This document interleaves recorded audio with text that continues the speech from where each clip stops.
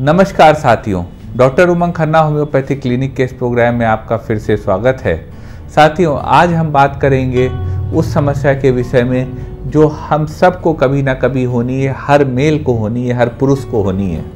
लगभग बात करेंगे प्रोस्टेट बढ़ने के विषय में बेनाइन प्रोस्टेट हाइपरट्रोफी के विषय में प्रोस्टेट एनलार्जमेंट के विषय में।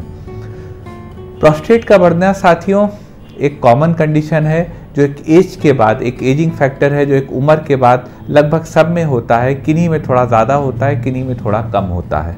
हम आपको बताएँगे प्रोस्टेट को बढ़ने से रोकने की और बढ़े हुए प्रोस्टेट को ठीक करने की 10 कारगर होम्योपैथिक दवाएँ। सबसे पहले साथियों जान लेते हैं प्रोस्टेट होता क्या है, या गदूद जिसे हिंदी में कहते हैं वो होते क्या हैं। गदूद हमारे पेयर ऑफ़ ग्लैंड्स होते हैं जो जब हमारे यूरिनरी ब्लैडर से पाइप होता हुआ पेनिस तक से होता हुआ जाता है तो जो यूरेथ्रा उसका पाइप का पोर्शन होता है, उसके बीच में दो ग्लैंड सबसे लास्ट में होते हैं। वहाँ उनका काम होता है सीमेन को लुब्रिकेशन प्रोवाइड कराना। कभी कभी होता यह है कि यह ग्लैंड्स उम्र के साथ एज के साथ स्वेल कर जाते हैं एनलार्ज हो जाते हैं, बढ़ जाते हैं। जब यह ग्लैंड बढ़ जाते हैं तो ये यूरेथ्रा को प्रेस करने लगते हैं। और जब यह यूरेथ्रा को प्रेस करने लगते हैं, वही कंडीशन में आपको तकलीफ़ महसूस होती है। तो यह हर उम्र में हो सकती है, लेकिन आफ्टर 40-45 ईयर्स यह ज़्यादा देखी जाती है। यहाँ पर हम आपको बता दें कि प्रोस्टेट अगर आपको बढ़ा हुआ है तो आप पीएसए की जाँच ज़रूर कराएँ। पीएसए इस प्रोस्टेट स्पेसिफिक एंटीजन यह एक प्रोस्टेट कैंसर के लिए जाँच होती है क्योंकि मेल्स में प्रोस्टेट कैंसर सबसे कॉमन कैंसर है, सबसे ज़्यादा होने वाला कैंसर है। तो प्रोस्टेट के कैंसर के लिए आप जाँच अवश्य नियमित रूप से कराते रहें अगर आपका प्रोस्टेट बढ़ा है, आपकी जानकारी में है तो। और नहीं है तो भी आप अल्ट्रासाउंड कराते रहें प्रोस्टेट एनलार्जमेंट आपके अल्ट्रासाउंड में आ जाएगा। 24 सीसी जो नॉर्मल वॉल्यूम होती है, आपको उससे ज़्यादा उसकी वॉल्यूम मिलेगी और यह आपका इंडिकेशन होगा दवा करने का। साथियों जान लेते हैं प्रोस्टेट बढ़ने के कॉजेस प्रोस्टेट एक एजिंग प्रोसेस होता है जो सबको होना है। वक्त के साथ इसका साइज़ बढ़ता है, इसमें थोड़ा कैल्सिफिकेशन होता है और यह यूरेथ्रा को प्रेस करने लगता है। प्रोस्टेट जिनका बढ़ता है, उनको जब आपको रात में बार बार पेशाब जाने का स्थिति महसूस होने लगे, पेशाब आपको लगे खुल के नहीं हुआ, कुछ कतरे रह गए। पेशाब में आपको बार बार जलन होने लगे। आपके पेट के निचले हिस्से में पेन होने लगे तो तो समझ लीजिए कि आपको हो सकता है प्रोस्टेट हो। इसके लिए आप एक अल्ट्रासाउंड करा लें और एक पीएसए की जाँच करा लें। ये दो जांचें आपकी डायग्नोसिस बना के आपको सही रास्ते पे ला, कर देंगी। हम बताते हैं साथियों आपको प्रोस्टेट को कंट्रोल करने, बड़े प्रोस्टेट को कंट्रोल करने और ठीक करने की 10 कारगर होम्योपैथिक दवाएँ। उससे पहले हम अपने साथियों को बता दें, जिसमें ये वीडियो देखने वाले ज़्यादातर हमारे बुज़ुर्ग साथी होंगे, उनको बता दें कि आप लोगों से निवेदन है कि क्योंकि प्रोस्टेटिक कैंसर सबसे कॉमन कैंसर होता है मेल्स में तो अगर आपको प्रोस्टेट एनलार्जमेंट की शिकायत है तो आप एक कुशल चिकित्सक से मिल के उससे प्रिस्क्राइब करा के तभी दवा लें। यूँ अपने मन से दवा न लें। हो सकता है कभी यह दवा बैकफायर कर दे सिम्टम्स आपको मैच ना करें और आपको नुकसान पहुँचा दे। चलते हैं साथियों, आपको बताते हैं होम्योपैथी में प्रोस्टेट को ठीक करने की 10 कारगर होम्योपैथिक दवाएँ। सबसे कारगर दवा जो होम्योपैथी में प्रोस्टेट को ठीक करने की जो अपने क्लिनिक पे हम देखते हैं कि बहुत अच्छा काम करती है वह है baryta carb baryta carb thirty एक ऐसी दवा है जो किसी भी ग्लैंड की हाइपरट्रोफी हो आप उसमें ले सकते हैं यानी कोई भी ग्लैंड जो ओवर वर्क करता हो आप उसमें ले सकते हैं। ओवर साइज़ हो गया हो आप उसमें ले सकते हैं। और प्रोस्टेट ग्लैंड भी उसी की श्रृंखला का एक ग्लैंड है।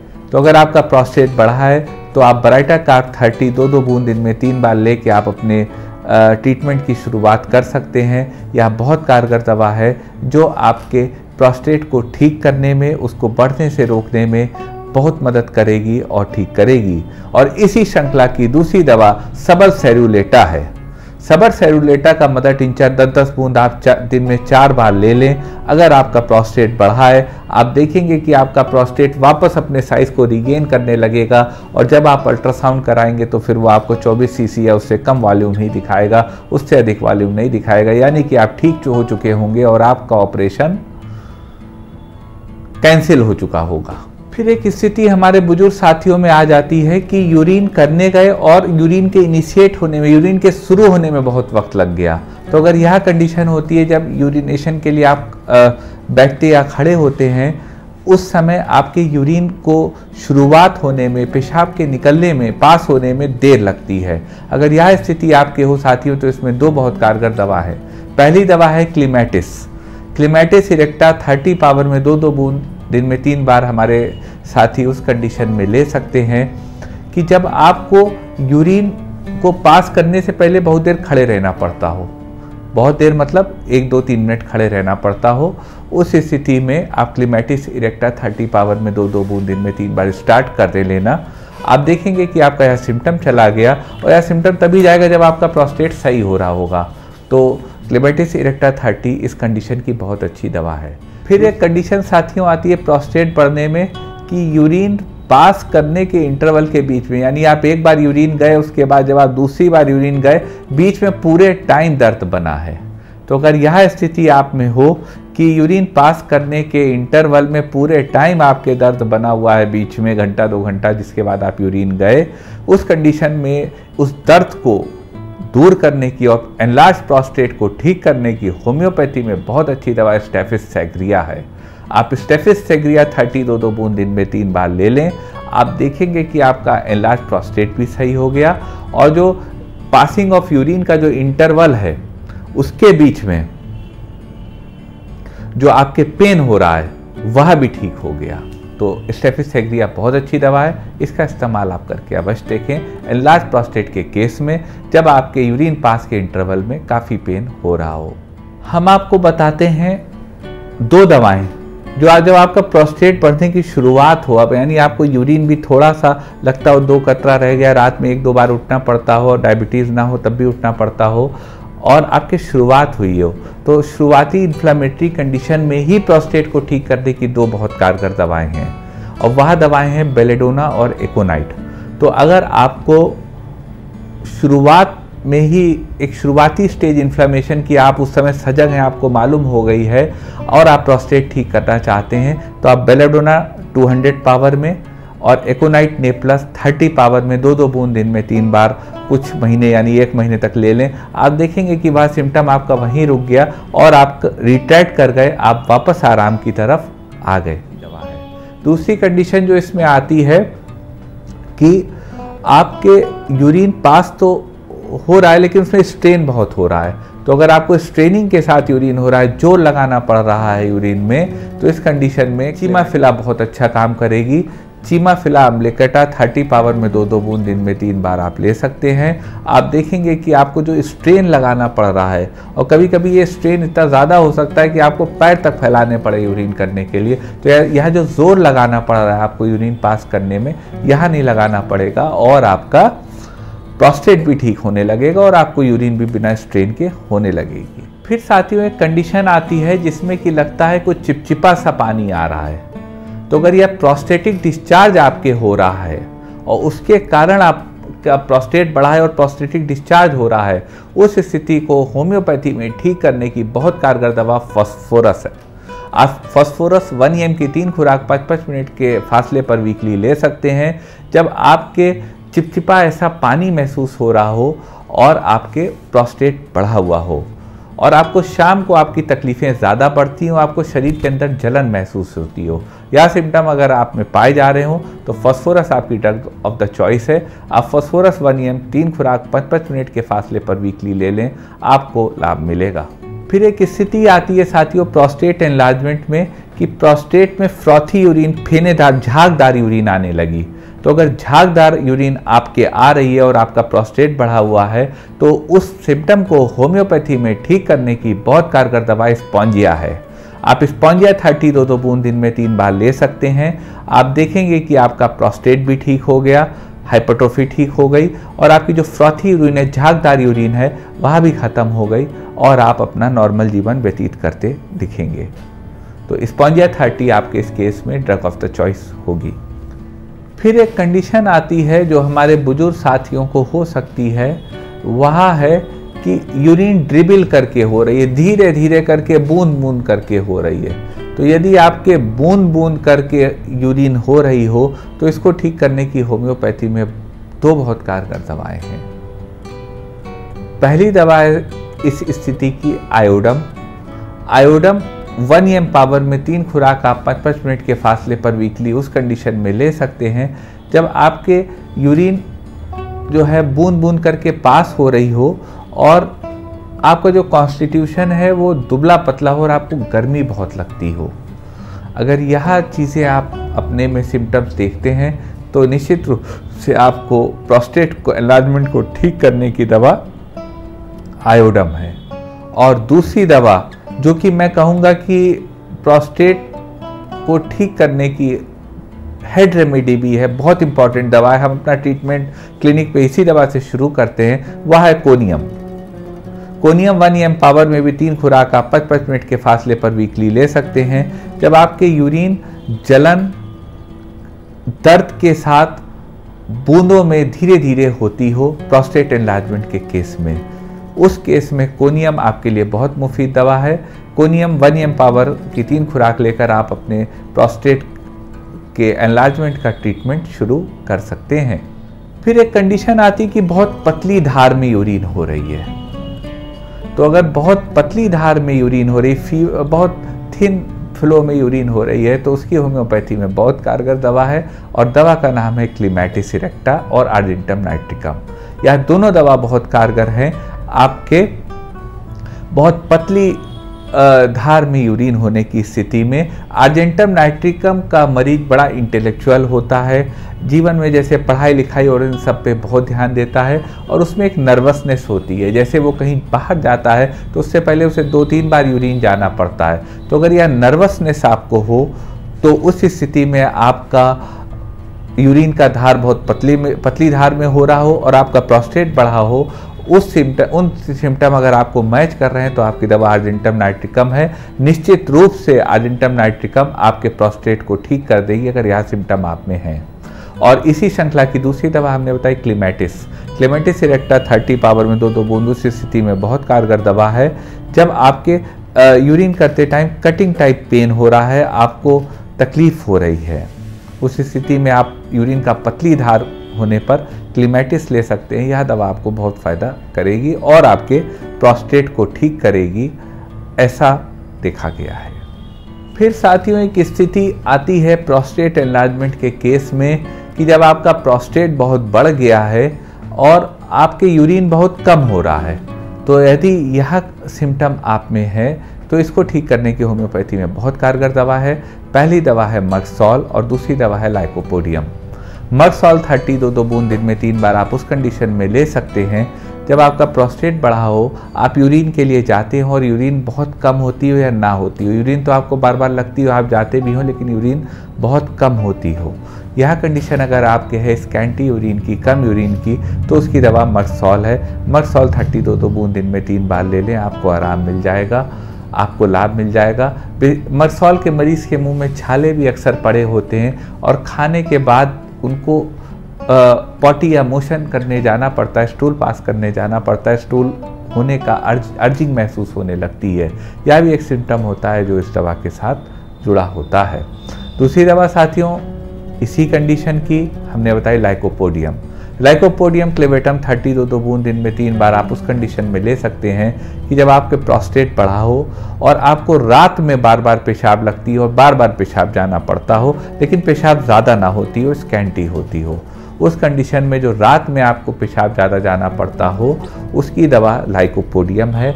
लाइकोपोडियम के मरीज़ के पेट के लोअर एब्डोमेन में गैस बनती है, गुड़गुड़ाहट होती है गैस की और उसको इरेक्टाइल डिस्फंक्शन भी होता है, हो सकता है। यहाँ सिम्टम्स अगर आप में हैं तो दवा लाइकोपोडियम है। आप लाइकोपोडियम थर्टी कुछ दिन इस्तेमाल कर लें। बहुत दिन ना करिएगा लाइकोपोडियम इस्तेमाल। डॉक्टर से पूछ के ही करिएगा, लेकिन यह दवा आपको फ़ायदा देगी। फिर एक कंडीशन आती है प्रोस्टेट के केस में लार्ज प्रोस्टेट के केस में, कि पेशाब हो ही नहीं रही है। अगर यह कंडीशन हो तो इसको भी होम्योपैथी में ठीक करने की बहुत कारगर दवाएँ हैं, और दवा का नाम है डिजिटेलिस आप डिजिटेलिस 30 पावर में दो दो बूंद दिन में तीन बार ले लें कि यदि आपकी यूरिन ही नहीं हो पा रही है और आपको बहुत तकलीफ़ हो रही है यूरिन आपके स्टॉप हो गई है। उस कंडीशन में डिजिटैलिस लेकर आप एक बार देख सकते हैं, शायद ये दवा आपको फ़ायदा कर जाए। और दूसरी दवा इसी कंडीशन की है परेरा ब्रावा परेबा ब्रावा का मदर टिंचर आप 10-10 बूंद दिन में चार बार उस कंडीशन में ले सकते हैं।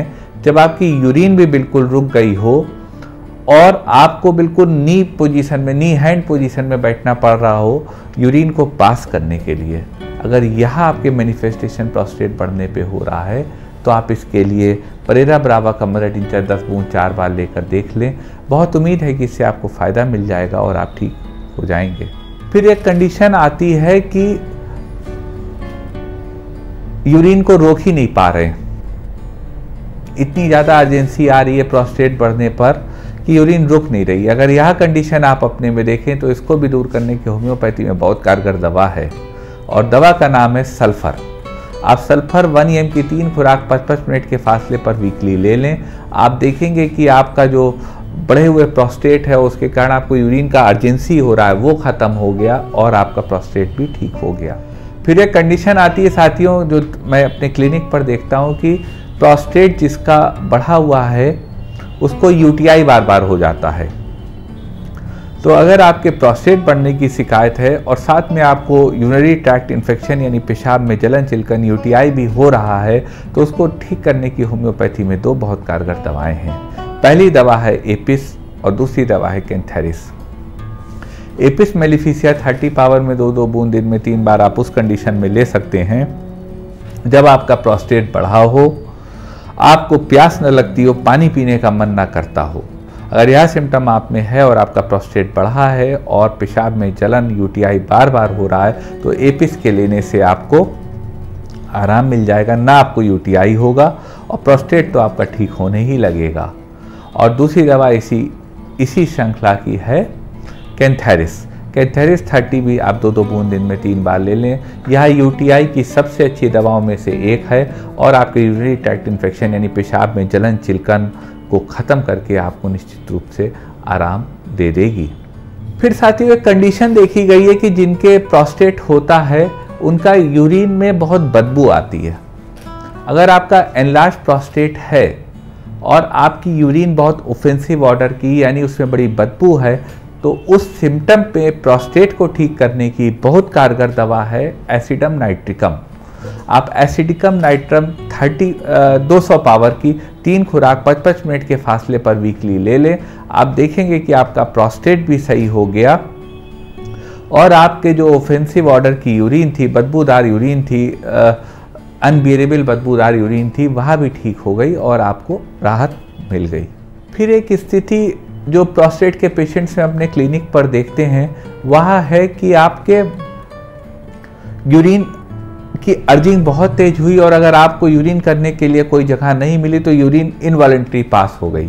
तो अगर यह कंडीशन आप में हो कि प्रोस्टेट एनलार्जमेंट हो रहा है और आपके इनवॉलेंट्री ड्रिबलिंग ऑफ़ यूरिन हो गई है तो उस कंडीशन की होम्योपैथी में बहुत कारगर दवा है थूजा।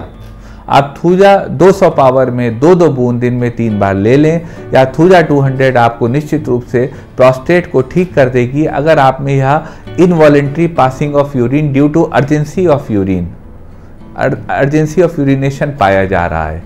तो आपको थूजा आपकी ड्रग ऑफ़ चॉइस है, आप थूजा 200 ले लें, यह आपको करिश्माई रिज़ल्ट देगी, आपके ऑपरेशन को बचाएगी और आपको ठीक करेगी। फिर एक कंडीशन प्रोस्टेट में आती है कभी कभी साथियों कि जो आपकी पेशाब की नली है, उसमें आपको प्रोस्टेट के बढ़ने के कारण कटिंग टाइप पेन रेतने काटने वाला दर्द महसूस होने लगा यूरिन पास करने के दौरान। तो अगर प्रोस्टेट एनलार्जमेंट में यह सिम्टम आप में पाया जाए कि रेत, रेतने काटने वाला दर्द आपको महसूस हो रहा है तो इसको ठीक करने की होम्योपैथी में बहुत कारगर दवा फेरम पिक्रेटम है। फेरम पिक थर्टी दो दो बूंद दिन में तीन बार आप ले लें। आप देखेंगे कि आपका यूरिन पास करते वक्त रेतने काटने वाला दर्द भी खत्म हो गया और आप पूरी तरह ठीक भी हो गए। आपका प्रोस्टेट भी ठीक होने लगा। फिर साथियों, हम आपको एक बताएँगे बहुत कारगर दवा होम्योपैथी में, जो आपके इनकम्प्लीट यूरेशन की वो स्थिति तक ला देता है, जब ला देता है, जब आपके कैथेटर तक लगाना पड़े। होम्योपैथी में इसकी बहुत कारगर दवा सॉलिडैगो है। सॉलिडैगो का मदर टिंचर। 10 बूंद दिन में चार बार लेने से कैथेटर तक का, मरीजों के जो कैथेटर तक लगा हुआ है प्रोस्टेट और यूटीआई के कारण, वहाँ तक निकल जाता है और मरीज़ ठीक हो जाता है, प्रोस्टेट भी ठीक हो जाता है, या बीपीएच प्रोस्टेट एनलार्जमेंट भी ठीक हो जाता है। तो solidago mother tincture drug of choice है। जब आपको कैथेटर तक लगाने वाली स्थिति आ गई है और आप बहुत परेशान हैं, यह दवा आपको निश्चित रूप से आराम देगी। फिर एक कंडीशन आती है जो थोड़ी वर्स कंडीशन है कि आपके प्रोस्टेट में सूजन आ गई। सूजन क्या है? उसमें इन्फेक्शन भी हो गया। अगर इस तरह की वर्स कंडीशन आप में आ रही है तो उसको भी ठीक करने की होम्योपैथी में बहुत कारगर दवा है। पहले तो हम दुआ करते हैं, हम प्रे करते हैं गॉड से कि ऐसी कंडीशन आप लोगों के सामने ना आए। लेकिन अगर यह कंडीशन आ रही है तो इसको ठीक करने की होम्योपैथी में बहुत कारगर दवा मर्क्यूरस आयोडेटम है।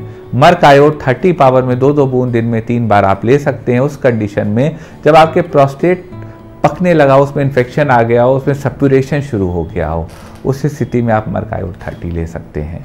यह कुछ दवाएँ थी आपके लिए। बेनाइन प्रोस्टेट हाइपरट्रोफी यानी प्रोस्टेट एनलार्जमेंट यानी गदूद के बढ़ने के विषय में, उसको ठीक करने के विषय में। हम फिर बता दें, कोई भी दवा बिना कुशल चिकित्सक से पूछे ना लें, क्योंकि दवा और सिम्टम प्रति व्यक्ति के हिसाब से होम्योपैथी में भिन्न हो सकते हैं और दवाएँ नुकसान भी कर सकती हैं। और अपनी पीएसए की जाँच ज़रूर कराएँ, क्योंकि प्रोस्टेटिक कैंसर मेल्स में सबसे ज़्यादा फैलने वाला कैंसर है। मेरा ये प्रयास था अपने बुज़ुर्ग लोगों के लिए, जो कि मेरे लिए पूज्य हैं उन लोगों के लिए कि आप लोगों की भी कोई समस्या हम लोग कम कर पाएँ। मैं अपने छोटे मोटे तजुर्बे से शायद मेरी उम्र उतनी ना हो, मैं 40 साल का हूँ, अभी 40 इकतालीस साल का। लेकिन अपने तजुर्बे से मैं जो आपकी मदद कर सकता हूँ, वो मैंने इस वीडियो में आपकी मदद करने का प्रयास किया है।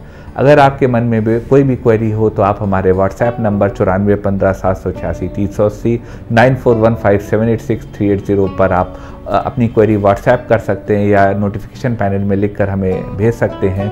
हम आपको आपके सवालों का संतोषजनक जवाब देने का प्रयास करेंगे। आप हमारे बुज़ुर्ग हैं, बड़े हैं, पूज्य हैं, आपसे मैं रिक्वेस्ट कर सकता हूँ, कह सकता हूँ कि अगर आपको यह वीडियो पसंद आया हो तो इसको लाइक ज़रूर करिएगा। अगर आपको हमारा यह प्रयास पसंद आया हो तो इस वीडियो को शेयर ज़रूर करिएगा। ये आपका चैनल है, इसको सब्सक्राइब ज़रूर कीजिएगा और बेल नोटिफिकेशन बटन को क्लिक करके हमारा नया वीडियो सबसे पहले पाते रहिएगा और हमें हमेशा अपने साथ पाते रहिएगा। आपका इतने वक्त हमारी बातें पेशेंटली सुनने के लिए, हमारा साथ देने के लिए, हमारे साथ रहने के लिए बहुत बहुत आभार बहुत बहुत साधुवाद। बहुत बहुत धन्यवाद।